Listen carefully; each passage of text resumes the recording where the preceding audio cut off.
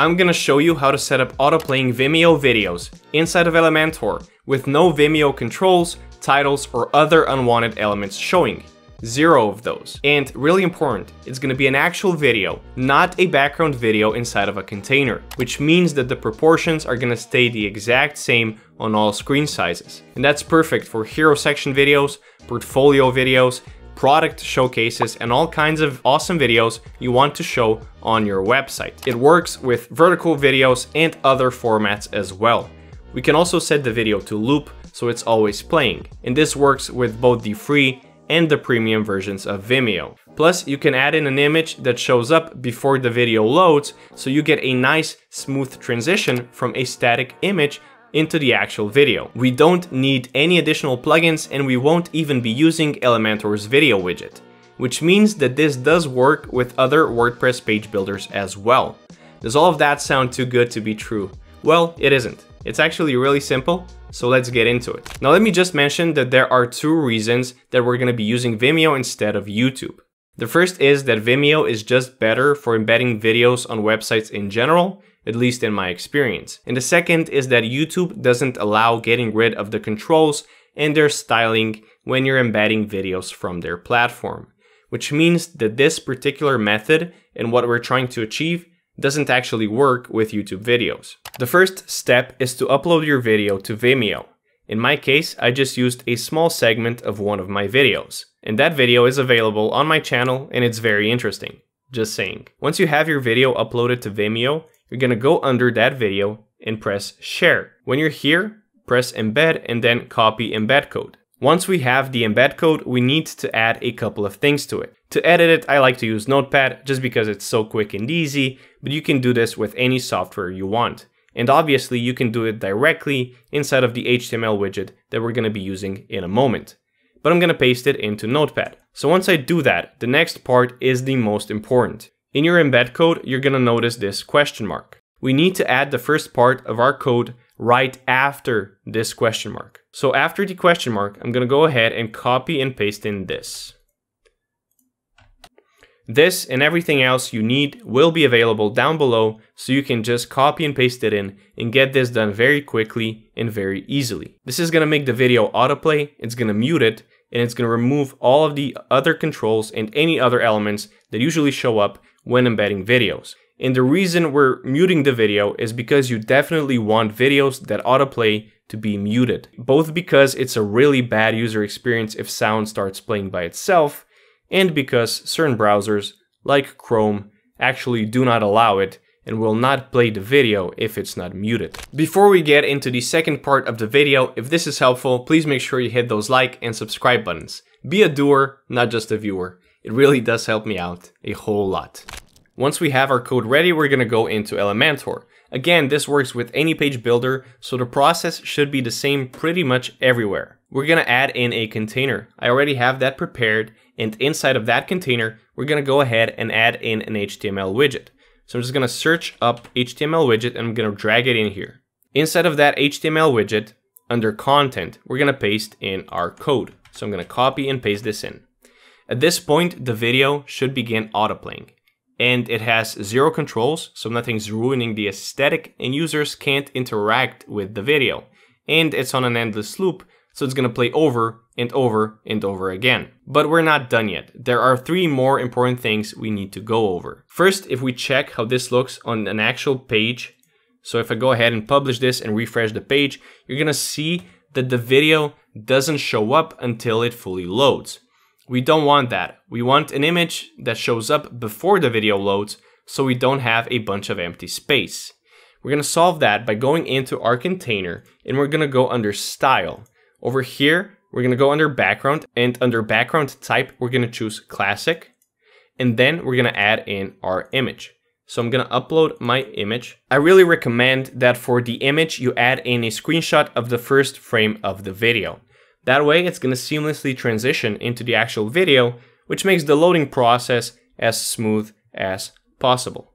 Set the image position to center center, set the repeat to no repeat, and set the display size to cover.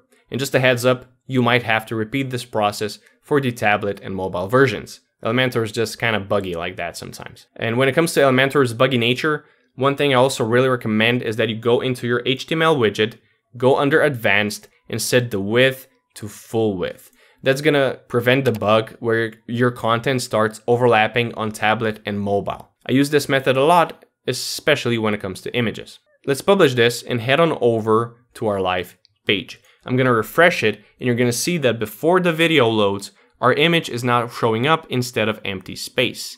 And because I chose the first frame of the video as the background image, the transition is nice and smooth.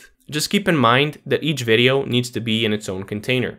If you add in something else to the video's container besides the HTML widget, you're gonna notice that the background image shows up behind that as well, which we definitely don't want. The same goes for padding. Your video container should have no padding for the same reason. The background image is gonna be showing up. Now you might ask, can I add the image to the HTML widget directly? Yes, yes you can.